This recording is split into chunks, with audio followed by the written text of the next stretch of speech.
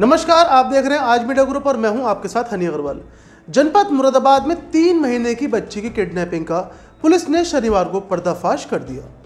Moradabad police ने तीन माह के बच्चे को अगवा करने वाले चार अभियुक्तों को गिरफ़्तार कर बच्चे को साकुशल बरामद कर लिया।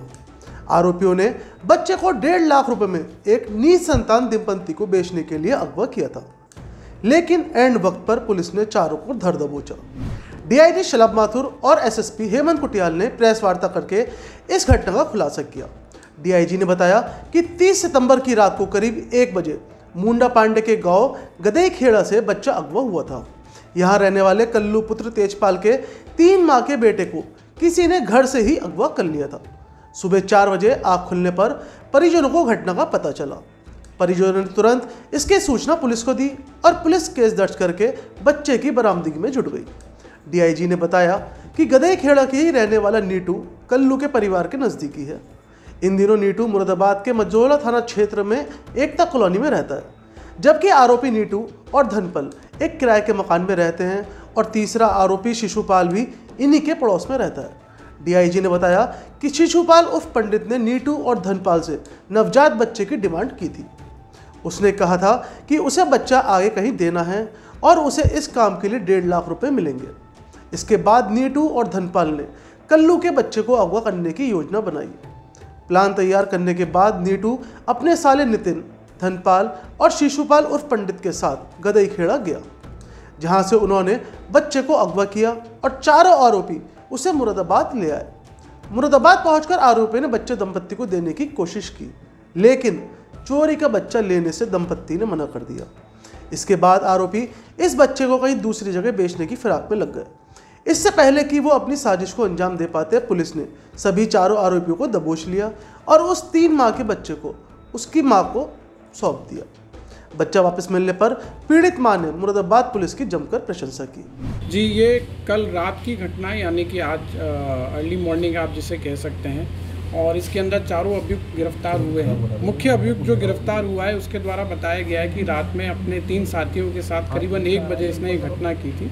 परिवारजनों को ये घटना की जानकारी इसके बाद हुई है। लगभग चार बजे के ऊपर उनके द्वारा डायल 112 के ऊपर सूचना दी गई।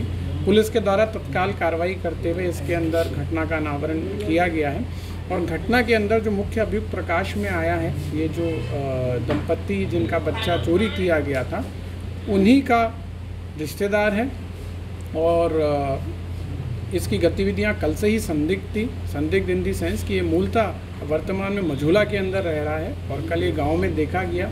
ये पुलिस ने अपने स्तर से भी इस चीज़ की पुष्टि की और रात में जो दंपत्ति है, उनकी वाइफ ने भी इस चीज़ को देखा कि रात में वहाँ पर पाया गया है। उसके ऊपर इनकी पूछताछ के अंदर इसने अपने तीनों साथियों के साथ में घटना का खुलासा किया। बेसिकली इनका जो प्लान था, वो ये था कि एक निसम संतान दंपत्ति से ये टच में आए थे और लगभग डेढ़ लाख रुपए के अंदर जो इन्होंने अपनी शुरुआती पूछताछ के अंदर बताया है कि ये दंपत्ति को, जो निसंतान दंपत्ति को था, ये बच्चा हैंडओवर देने का प्लान किया था। जब ये वहाँ पर पहुँचे हैं तो उनको जब पता लगा है कि ये बच्चा इस तरीके से चोरी से उठा के लाया गया है तो उन्होंने इसको लेने से इनकार कर दिया है। जो इन्होंने उनके बारे में क्लू दिए हैं, उससे उनकी भी शिनाख्त की जा रही है कि वो लोग कौन हैं। और तत्कालिक कार्रवाई की गई है जो पुलिस के द्वारा और चारों लोगों को गिरफ़्तार जो किया गया है उसके अंदर मेरे स्तर से पूरी पुलिस टीम को पचास हज़ार रुपये का और प्रशस्ति पत्र दिए जा रहे हैं। और आरोपियों का आपस में क्या संबंध है और क्या क्रिमिनल हिस्ट्री है आरोपी जो मुख्य अभियुक्त है नीटू उसके साथ एक सह अभियुक्त नितिन जो है ये नितिन जो है नीटू का साला है। साथ ही साथ दो लोग और हैं धनपाल और शिशुपाल। धनपाल और शिशुपाल वो व्यक्ति हैं जो नीटू के साथ में वहीं पर मझोला के अंदर रहते हैं। वर्तमान की जो पूछताछ है और जो हमारे अभिलेख हैं, उसके हिसाब से इन चारों की कोई क्रिमिनल हिस्ट्री नहीं है। बट क्योंकि घटना का खुलासा तत्काल ही हुआ है और आप लोग को अभी वर्तमान में ब्रीफ किया जा रहा है, हो सकता है और पूछताछ के अंदर और हम लोग के अन्वेषण के अंदर और इन लोग की कोई क्रिमिनल हिस्ट्री इस तरह की निकल के आए तो उसके ऊपर भी अग्रिम कार्रवाई की जाएगी। बल्कि इतने ही नहीं, बच्चा बरामद करने वाली पुलिस टीम को डीआईजी ने पचास हज़ार रुपये देने की घोषणा की। फ़िलहाल पुलिस ने चारों आरोपियों को न्यायालय पेश कर जेल भेज दिया। फ़िलहाल इस खबर बस इतना ही। शहर और राज्य की हर बड़ी खबर देखने के लिए बने रहिए आज वीडियो ग्रुप के साथ। धन्यवाद।